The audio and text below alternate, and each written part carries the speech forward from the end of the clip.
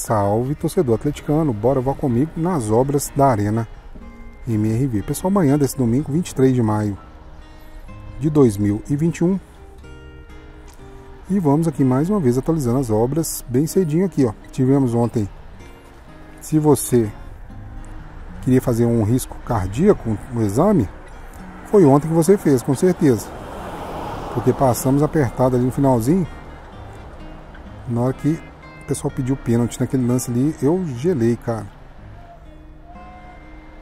É, de alguma forma, a gente vai ter que ser mais forte nos bastidores, porque o cenário é de hegemonia nos próximos anos, né? E para a federação talvez isso não seja tão interessante. Né? Então vamos tentar de alguma maneira equilibrar o jogo fora das quatro linhas para que o Galo não se torne uma potência, não tenha adversários aqui em âmbito mineiro pelo menos, né pessoal? Passando aqui pelo lado externo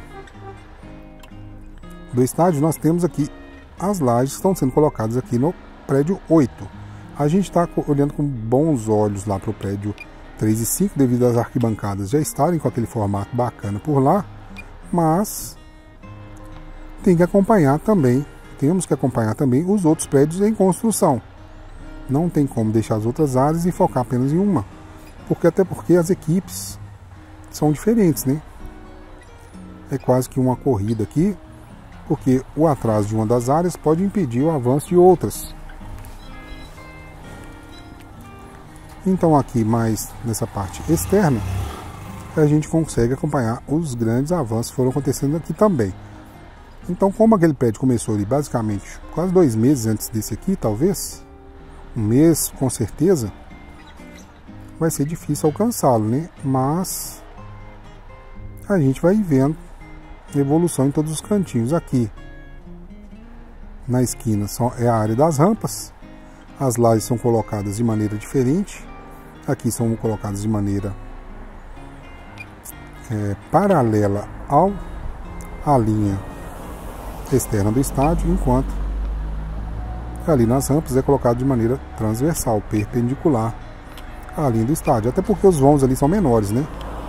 E é, naquele vão são dois lances de rampas por ali. Deixa eu só confirmar a posição da grua. Está apontada para a parte externa do estádio, mas um pouco do lado de lá. Ó. Então aqui está tranquilo para eu passar. E lembrando que essa foi a única solicitação que a Arena nos fez. O único requisito a ser cumprido para as filmagens por aqui era de manter a segurança nas operações. E é isso que vamos fazer. Vamos dando a volta por aqui, ó, porque parece que logo ali nós temos uma novidade bem bacana. Ó. Vamos passando aqui pela parte externa. Vou dar um jeito de mostrar, confirmar aqui de novo. Hoje não tem operação das luzes, então para a gente tá tranquilaço.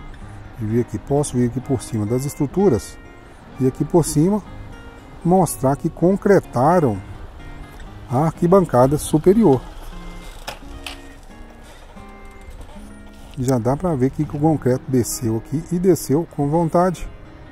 Acabaram fazendo a concretagem de toda essa área aqui, acredito na tarde e noite de ontem. E agora ela está por aqui prontinho.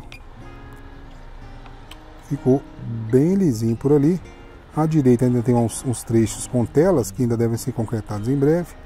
Mas daqui de cima dá para ver muito mais tranquilamente o piso concretado do que foi nas arquibancadas inferiores.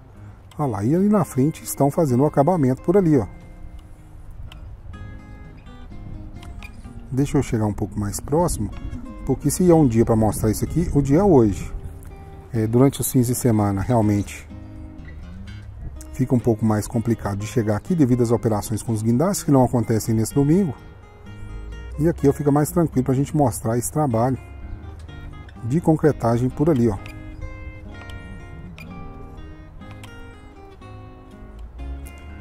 Então ali o pessoal vai passando. A gente brincou que era enceradeira do concreto, né? Mas vai ali passando aquela máquina que vai alisando a parte superior do piso por ali.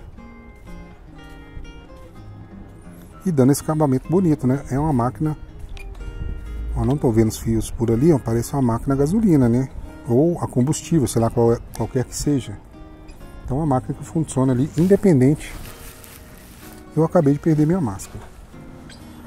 Que tava pendurado no meu ouvido aqui, sem andando, ah, tá lá na frente, no meio da rua, que beleza. Os carros tudo passando em cima da minha máscara. Que eu vou buscar agora, pera aí.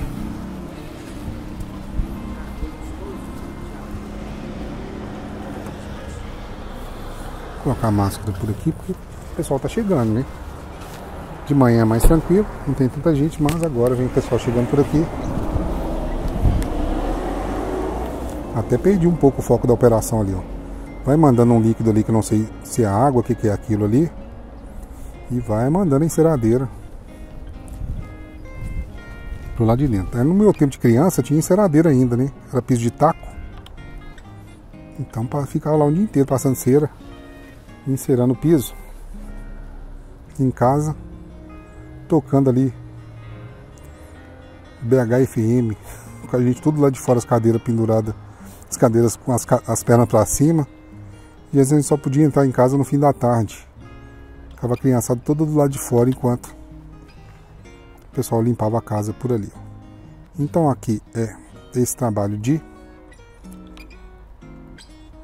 acabamento desse piso. Vou dar uma volta por aqui também, ver como é que ficou um pouco mais à frente, que aqui parece que já está finalizado. Então eles estão fazendo esse trabalho seguindo desse canto para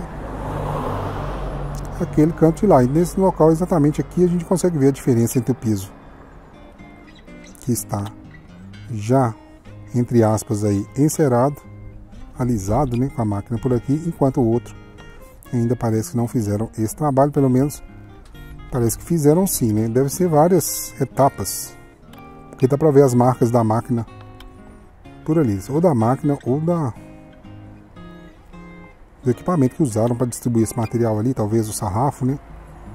Então, pessoal, mostrando aqui esse acabamento da arquibancada e essa concretagem do piso da arquibancada superior, eu vou encerrando mais um dos vídeos por aqui, saindo aqui pela lateral da obra. E se vocês gostaram desse vídeo, deixem um like, compartilhem e se inscrevam em nosso canal. É muito importante para a gente continuar gerando esse conteúdo de qualidade de atleticano para atleticano. Um grande abraço e até o próximo voo.